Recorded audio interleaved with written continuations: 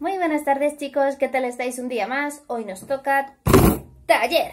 Vale, ¿qué necesitamos? Pegamento, tijeras, pinturas, lápices, bolis, rotus, lo que quieras, un folio o dos. Yo creo que uno nos va a valer, ¿vale?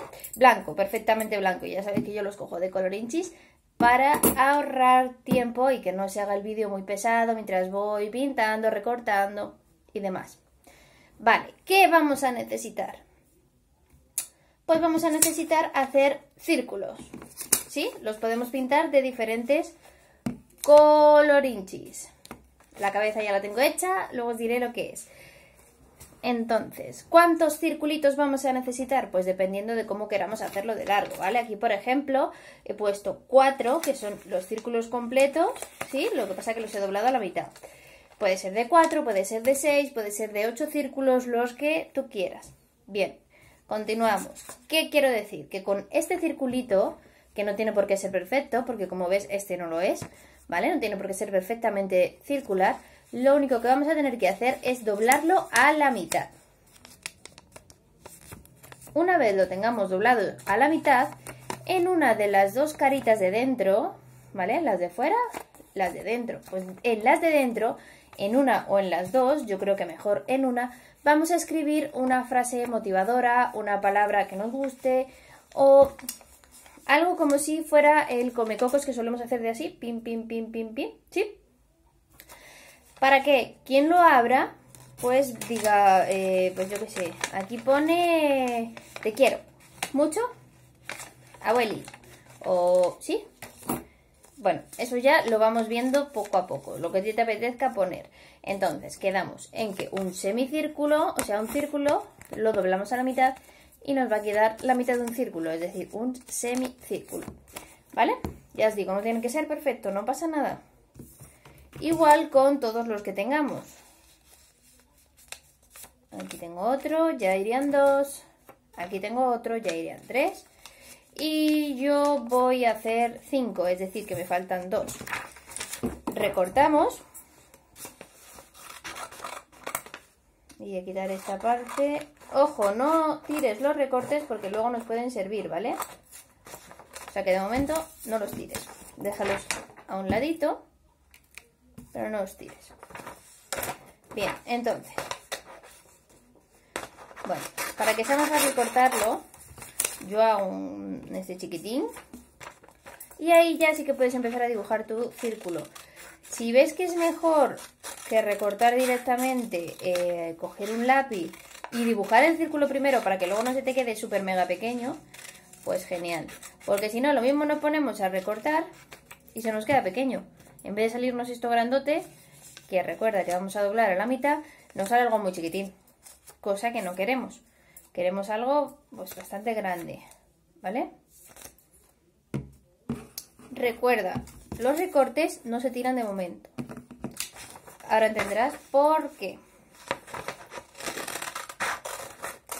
Lo hago directamente para que sea más rápido, pero tú recuerda, coge tu lápiz, dibujas un círculo grande y una vez lo tengas, ya sí puedes recortar, después de pintarlo, eso es importante.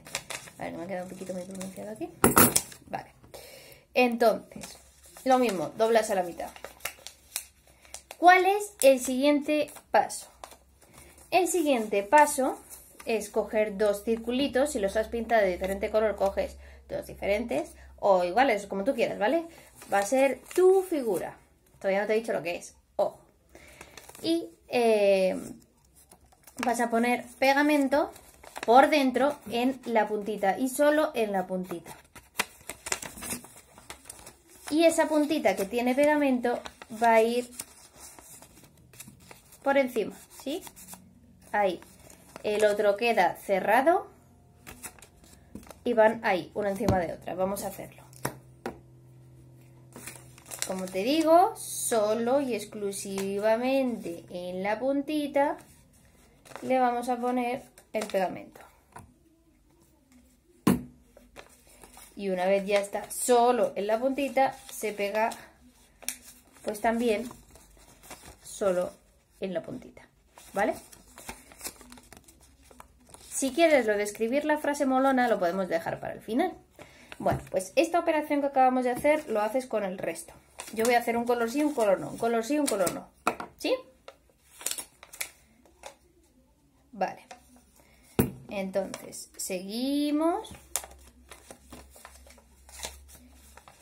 Y pegamos. Bien. Cuando ya tengas dos y dos, por ejemplo, el siguiente hay que ponerle en el rojo para que quede por encima. Es decir, el siguiente siempre tiene que quedar por encima. Por debajo, perdón. Para que quede por encima de serie, si no nos va a quedar así un poco rarinchi. Sigues pegando, ¿sí? ¿Ves? Por encima el azul, por encima el rojo, por encima el azul. Y ahora, como tengo azul rojo, azul rojo, azul rojo, lo voy a pegar adelante para que me quede chulingui, molingui, molingui. Vale. Eso es. Vale, pues yo lo voy a dejar en cinco colorinchis, ¿vale? Ahora sería un buen momento para poner tu frase bolón aquí. Por ejemplo, yo qué sé, em, hermanita, te quiero mucho, muchísimo. Si son cinco o en cada uno de ellos eh, eres la mejor hermana, eh, eres eh, la mejor abuela del mundo, el mejor hermano del mundo mundial, lo que tú quieras, ¿vale? Para que luego cuando vayas a jugar con ello, y ahora te seguiremos que no hemos acabado, la persona que lo abra diga, oh, qué bonito. ¿Vale? Bien, siguiente paso, cabecinchi. Que es otro círculo entero, ¿vale? Le he pintado, bueno, en este caso pegado una naricita, pero puedes pintársela, la boquita, los ojos y con estos recortes de antes he hecho las antenas. ¿Vale? De modo que no he tenido que usar cosas nuevas, sino que con esto me han salido las antenas. ¿Vale? Así reciclamos y no estropeamos de más. Bien, una vez tengas la carita hecha, que es fácil, si quieres hacerle lengüita o lo que tú quieras, o del modo en que tú quieras hacerle la carita, está perfectísimo, ¿vale? Una vez que la tengas, solo se pega por un lado. Es decir, por ejemplo, aquí en esta puntita, por este lado, se pegaría. Por el otro, no, ¿vale? Le ponemos pegamento por aquí detrás de la carinchi, por aquí, y se pega esa parte solo. Es muy pequeñita la superficie que se pega. ¿Para qué? Para que no se nos pierda uno de los círculos. En caso de que quisieras pegarle más cachito, pues también se puede, ¿sabes? Que no hay problema en hacerlo. Pero yo más o menos ahí por arriba veis la superficie que está pegada, que es muy poquita, así con la, con la luz. ¿Sí? ¿Se ve? Solo eso. Y con eso ya se va a sujetar. Bien, pues este sería el gusanito de las palabras amorosas, por ejemplo, las palabras mágicas o, o como lo quieras tú llamar. Mm, quizá pues el gusanito de las palabras secretas o el gusanito de los secretos. No sé. Igualmente, si quieres alargarlo, si quisieras alargarlo, tengo para alargar, ¿vale? Depende de todos los eh, circulitos que tú quieras pegar. Recuerda que solo vas a tener que doblar un círculo a la mitad y pegar uno encima de otro. De modo que si en vez de de 5 lo quieres hacer de 9, pues sale ahí a la aventura, larguísimo, larguísimo de la vida. Como tú quieras, ¿vale? Yo lo voy a dejar más pequeñito y además se sujeta, como veis, se puede sujetar, ¿sí? Así que nada, ese ha sido nuestro taller de hoy, espero que lo disfrutéis mucho haciendo y que disfruté mucho haciéndolo, perdón. Y nada, nos vemos en el siguiente taller, cuento, reto, actividad mágica, divina y maravillosa. Un besazo enorme, os quiero mucho, os echo mucho de menos.